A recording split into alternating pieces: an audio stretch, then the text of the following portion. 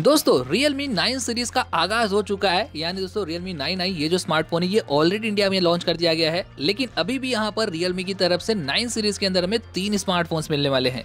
Realme 9 Pro, Realme 9 Pro Plus इन दोनों smartphone को तो कंफर्म कर दिया गया कि ये 16 फरवरी को हमें इंडिया में लॉन्च होते हुए देखने को मिल जाएँगे। लेकिन दोस्तों अभी भी यहाँ पर एक स्मार्टफ़ोन बचा हुआ है और वो है यहाँ पर Realme का 9 5G जी हाँ दोस्तों, ये 5G स्मार्टफ़ोन होने वाला ये कंफर्म है। और इसके अलावा आज स्मार्टफ़ोन को FCC सर्टिफिकेशन वेबसाइट पर स्पॉट कर लिया गया है, जहाँ पर स्मार्टफ़ोन की सभी की सभी स्पेसिफिकेशन भी कंफर्म हो चुकी है। दोस्तों, अगर आप यहाँ पर Realme 9 5G स्मार्टफ़ोन का वेट कर रहे थे तो आज की ये वीडियो बहुत ही ज़्यादा हेल्पफुल होने वाली है तो एक बार इस वीडियो को चेकआउट ज़रूर कीजिएगा। साथ में अगर आपको ये वीडियो थोड़ी सी भी हेल्पफुल लगती है तो वीडियो को लाइक और अपने दोस्तों के साथ शेयर करना मत भूलेगा साथ ही में दोस्तों, चैनल को सब्सक्राइब और बेल आइकन को ज़रूर से प्रेस कर दीजिएगा ताकि आने वाली वीडियोस की नोटिफिकेशन भी आपकी डिवाइस पर टाइम टू टाइम मिलती रहे। सो चलिए शुरू करते हैं। मेरा नाम है राम और गैजेट न्यूज़ हिंदी पे आप सभी का स्वागत है। तो चलिए दोस्तों, सबसे पहले बात कर लेते हैं फ़ोन के डिज़ाइन और बिल्ड क्वालिटी की। वैसे दोस्तों, ये बता दूँ कि इस स्मार्टफ़ोन के अभी तक यहाँ पर कोई भी रेंडर्स वगैरह लीक नहीं हुए हैं। तो ये बता पाना थोड़ा सा मुश्किल है कि ये स्मार्टफ़ोन आपको कैसा देखने को मिलेगा। लेकिन दोस्तों, अगर हम बात करें Realme 9 Pro और नाइन प्रो प्लस स्मार्टफ़ोन की तो ज़्यादातर चांसेस है कि ये स्मार्टफ़ोन भी हमें कुछ इसी तरीके से देखने को मिलने वाला है, क्योंकि दोस्तों ऑलरेडी यहाँ पर रियलमी नाइन आई स्मार्टफ़ोन भी कुछ इसी डिज़ाइन के साथ में लॉन्च किया गया है। तो चलिए बात कर लेते हैं बिल्ड क्वालिटी की दोस्तों तो ये स्मार्टफ़ोन आपको प्लास्टिक बिल्ड पर ही देखने को मिलने वाला है। प्लास्टिक की फ्रेम होगी प्लास्टिक की बॉडी मिल जाएगी और फ्रंट में आपको यहाँ पर पॉसिबली कॉर्निंग गोरेला ग्लास का प्रोटेक्शन मिलने वाला है। इसके साथ में अगर बात कर ले फ़ोन के डिज़ाइन की दोस्तों तो ये स्मार्टफ़ोन हमें यहाँ पर Realme 9 Pro स्मार्टफ़ोन की तरह ही देखने को मिलेगा। तो बैक में आपको यहाँ पर रेक्टेंगुलर डिज़ाइनिंग के साथ में तीन कैमरा मिलने वाले हैं एलईडी फ्लैश देखने को मिल जाएगा और नीचे की तरफ़ आपको Realme की ब्रांडिंग मिल जाएगी। वहीं पर अगर फ्रंट लुक की बात की जाए दोस्तों तो फ्रंट लुक हमेशा की तरह आपको यहाँ पर सेम देखने को मिलने वाला है। टॉप लेफ़्ट में आपको punch hole cutout selfie camera देखने को मिल जाएगा। पतली सी चीन होगी, पतली सी बिजल्स आपको देखने को मिल जाएँगी। तो ओवरऑल जो यहाँ पर डिज़ाइन है और बिल्ड क्वालिटी दोनों ही आपको अच्छे मिलने वाले हैं। दोनों से आपको यहाँ पर कोई खास शिकायत नहीं आएगी। हाँ तो दोस्तों, चलिए बढ़ते हैं आगे और बात करते हैं अब यहाँ पर फ़ोन के मेन स्पेसिफिकेशंस के बारे में। तो गाइस फ़ोन के अंदर आपको मिलने वाली है साढ़े छह इंचेस की फुल एचडी प्लस वाली आई पी पैनल जी हाँ दोस्तों 9 प्रो और 9 प्रो प्लस की तरह आपको यहाँ पर एमोलेट पैनल नहीं मिलेगी। आईपीएस पैनल का आपको यहाँ पर सपोर्ट मिलने वाला है। साथ में आपको यहाँ पर 20 इस टू नाइन का एस्पेक्ट रेशियो देखने को मिल जाएगा और लगभग आपको यहाँ पर 400 पीपीआई डेंसिटी का सपोर्ट मिलने वाला है। और हाँ दोस्तों, यहाँ पर आपको एस डी का सर्टिफिकेशन तो पॉसिबल है कि देखने को ना मिले, लेकिन आपको यहाँ पर वाइट वाइन एल का सपोर्ट देखने को मिलने वाला है। तो कॉन्टेंट वॉच करने के लिए नो डाउट दोस्तों डिस्प्ले काफ़ी अच्छी रहने वाली है। और आउटडोर के लिए आपको यहाँ पर 600 नीट्स की ब्राइटनेस मिल जाएगी। तो देखा जाए तो आउटडोर में भी आपको यहाँ पर कोई खास शिकायत नहीं आने वाली।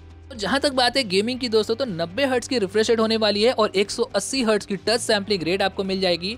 तो देखा जाए यार तो यहाँ पर जो डिस्प्ले है, वो आपको बिल्कुल भी यहाँ पर Realme 8 5G की तरह देखने को मिलने वाली है। कोई खास चेंजेस आपको यहाँ पर नहीं मिल रहे हैं।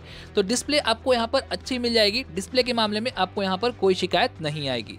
तो भाई, चलिए आगे बढ़ते हैं और बात कर लेते हैं अब यहाँ पर फ़ोन के बैक लुक यानी दोस्तों फ़ोन के कैमरास के बारे में। तो दोस्तों, फ़ोन के बैक में आपको यहाँ पर मिलने वाले हैं तीन कैमरा जहाँ पर मेन कैमरा होगा 48 मेगापिक्सल का। साथ ही में आपको यहाँ पर ई e का सपोर्ट मिल जाएगा, दो का मैक्रो होगा, दो का डेप सेंसर मिलने वाला है। तो यहाँ पर जो रियर कैमरा मॉड्यूल है दोस्तों, वो आपको यहाँ पर डिसेंट मिलने वाला है। वहीं पर अगर सेल्फी कैमरा की बात करें तो हमेशा की तरह इस बार भी आपको यहाँ पर 16 मेगापिक्सल का सेंसर मिल जाएगा सेल्फी के लिए। और जहाँ तक बात है वीडियो रिकॉर्डिंग की तो फ्रंट और बैक दोनों ही कैमरा से आप यहाँ पर फुल एचडी की वीडियो रिकॉर्डिंग कर सकेंगे थर्टी एफ़ पर। जी हाँ दोस्तों, सिर्फ़ और सिर्फ़ थर्टी एफ़ पर तो कैमरा मॉड्यूल आपको यहाँ पर इस बार का डिसेंट मिलने वाला है। हालाँकि दोस्तों, यहाँ पर रियलमी की ट्यूनिंग अच्छी होती है तो कैमरा का जो आउटपुट होगा वो आपको अच्छा मिल जाएगा। तो कैमरा के मामले में आपको यहाँ पर कोई खास दिक्कत नहीं आने वाली। और दोस्तों, इसी के साथ में बढ़ते हैं आगे। बात कर लेते हैं अब यहाँ पर फ़ोन के चिपसेट की। और जैसा कि दोस्तों, मैंने आपको बताया, ये स्मार्टफ़ोन अभी हाल ही में एफसीसी पर स्पॉट किया गया है, जहाँ पर काफ़ी हद तक ये कंफर्म हो चुका है कि फ़ोन के अंदर हमें मिलने वाला है मीडिया का डायमेंसिटी एट का चिपसेट वैसे दोस्तों, इसी चिपसेट के साथ में अभी हाल ही में यहाँ पर रियलमी का 8S 5G स्मार्टफ़ोन लॉन्च किया गया था। तो इतना तो पता है दोस्तों कि चिपसेट काफ़ी अच्छा है परफॉर्मेंस काफ़ी अच्छी निकाल कर देता है। 6 नैनोमीटर की फैब्रिकेशन पर बना हुआ है तो आपको यहाँ पर हीटिंग के जो इश्यूज़ हैं, वो काफ़ी कम मिलते हैं। साथ में आपको यहाँ पर परफॉर्मेंस और बैटरी बैकअप दोनों ही काफ़ी अच्छा देखने को मिल जाता है। हाँ तो भाई, बात कर लेते अब यहाँ पर रॉ सीपीयू की यार। तो 64 बिट आर्किटेक्चर के साथ में आपको मिलते हैं यहाँ पर आठ कोर जिसमें से दो कोर आपको मिल जाते हैं हाई परफॉर्मेंस टास्क के लिए 2.4 गीगाहर्ट्ज पर कोटेक्स ए सेवेंटी के साथ ही में बाकी के छह कोर आपको मिल जाते हैं मीडियम टास्क और पावर एफिशिएंसी के लिए टू पॉइंट ज़ीरो गीगा पर कोटेक्स ए के परफॉर्मेंस दोस्तों काफ़ी अच्छी निकाल कर देता है। डे टू डे यूज़र्स में आपको यहाँ पर कोई भी दिक्कत नहीं आएगी। वहीं पर अगर गेमिंग की बात कर लें तो गेमिंग के लिए आपको मिल जाता है आम वाली G fifty seven M C two का एक दो कोर वाला जीपीयू हालाँकि दो कोर का जीपीयू है, लेकिन दोस्तों आपको यहाँ पर गेमिंग काफ़ी अच्छी करा देता है और आपको यहाँ पर वीडियो एडिटिंग और रेंडरिंग में भी हेल्प कर देता है। तो परफॉर्मेंस और गेमिंग में आपको यहाँ पर कोई शिकायत नहीं आने वाली। चलिए जानते हैं अब यहाँ पर फ़ोन के रैम और स्टोरेज के बारे में। तो दोस्तों, यहाँ पर ये स्मार्टफ़ोन लॉन्च किया जा सकता है छः और आठ जीबी रैम के साथ में, और काफ़ी सारे लीक्स तो ये भी बता रहे हैं कि चार जीबी रैम वेरिएंट भी देखने को मिल सकता है। जहाँ पर दोस्तों रैम की क्वालिटी होगी L P D D R four X और वहीं पर आपको यहाँ पर चौंसठ और एक सौ अट्ठाईस जीबी की इनबिल्ट स्टोरेज मिलने वाली है, और यहाँ पर स्टोरेज की क्वालिटी होगी U F S two point two तो देखा जाए तो रैम और स्टोरेज का जो मॉड्यूल दिया गया दोस्तों, वो भी आपको काफ़ी अच्छा मिलने वाला है। आगे बढ़ते हैं और बात कर लेते हैं अब यहाँ पर मेरे फेवरेट सेगमेंट यानी फ़ोन के पावर हाउस की। तो दोस्तों, यहाँ पर Realme और Redmi, इन दोनों स्मार्टफ़ोन ब्रांड की एक काफ़ी अच्छी बात है कि ये दोनों स्मार्टफ़ोन बैटरी के मामले में कभी भी कॉम्प्रोमाइज नहीं करते हैं। जी हाँ दोस्तों, इस फ़ोन के अंदर आपको मिलने वाली है पाँच हज़ार एमएच की बैटरी जो कि दोस्तों काफ़ी अच्छे साइज़ की बैटरी है। आपको एक दिन का बैकअप भी काफ़ी आराम से निकाल कर देती है और साथ ही दोस्तों, यहाँ पर जो स्मार्टफ़ोन है, ये भी हैवी नहीं होता। बैटरी साइज़ आपको काफ़ी अच्छा मिलने वाला है और अगर आपने बैटरी को डिस्चार्ज कर दिया तो 33 वोट की चार्जिंग का सपोर्ट होने वाला है और चार्जिंग के लिए टाइप सी वाली पोर्ट मिल जाएगी। तो बैटरी मॉड्यूल आपको अच्छा मिलने वाला है। बैटरी मॉड्यूल से भी आपको यहाँ पर कोई शिकायत नहीं आएगी। हाँ तो भाई, अब बात कर लेते हैं यहाँ पर फ़ोन के कुछ एक्स्ट्रा फीचर्स के बारे में। हालाँकि दोस्तों, यहाँ पर कुछ रेंडर्स वगैरह तो लीक नहीं हुए लेकिन दोस्तों आईपीएस पैनल दिया गया है तो डेफिनेटली हमें यहाँ पर साइड माउंटेड वाला फिंगरप्रिंट सेंसर मिलेगा। फेस अनलॉक जैसे फीचर्स तो डेफिनेटली मिल ही जाते हैं। साथ में आपको यहाँ पर मिलने वाला है थ्री पॉइंट mm का जैक ट्रिपल कार्ड के ऑप्शन आपको यहाँ पर मिल जाएँगे तो आप यहाँ पर एक साथ में दो फाइव सिम और एक मेमोरी कार्ड लगा सकते हैं, जो कि काफ़ी अच्छी बात होने वाली है। और जहाँ तक बात है स्पीकर्स की दोस्तों तो Realme 9i के अंदर हमें ऑलरेडी ड्यूअल स्टीरियो स्पीकर्स देखने को मिल चुका है और Realme 9 Pro और 9 Pro Plus के अंदर भी लीक्स आ चुके हैं कि हमें यहाँ पर स्पीकर्स ड्यूअल ही देखने को मिलने वाले हैं। तो ऐसे में दोस्तों यार, इस स्मार्टफ़ोन को तो नहीं छोड़ा जाएगा। तो इस स्मार्टफ़ोन के अंदर भी हमें यहाँ पर ड्यूअल स्टीरियो स्पीकर ही देखने को मिलने वाले हैं। तो ऑडियो अच्छी और लाउड मिलने वाली है। तो यहाँ पर भी आपको कोई खास शिकायत नहीं होगी। और फाइनली दोस्तों, अब बात कर लेते हैं यहाँ पर फ़ोन के ओएस की। और गाइज़ यहाँ पर काफ़ी सारे लीक्स ये आ रहे हैं कि ये स्मार्टफ़ोन हमें यहाँ पर Android 12 out of the box देखने को मिलेगा, जहाँ पर आपको मिलने वाला है मी आई थ्री हालाँकि थोड़े मोड़े ब्लॉटवेयर ऐप और एड अभी भी आपको मिलेंगे, लेकिन ओवरऑल जो सॉफ्टवेयर एक्सपीरियंस है, वो आपको अच्छा मिलने वाला है, क्योंकि दोस्तों, आप इन्हें इंस्टॉल कर सकते हैं तो ये काफ़ी अच्छी बात होने वाली है।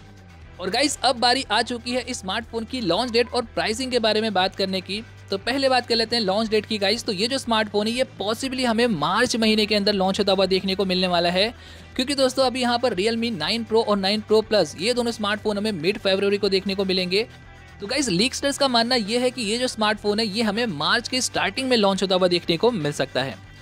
वहीं पर दोस्तों, अगर फ़ोन की प्राइसिंग की बात की जाए तो अगर स्मार्टफ़ोन का चार जीबी वाला वेरिएंट आता है तो ये स्मार्टफ़ोन हमें कहीं ना कहीं पंद्रह से सोलह हज़ार रुपए की प्राइस पर देखने को मिलेगा।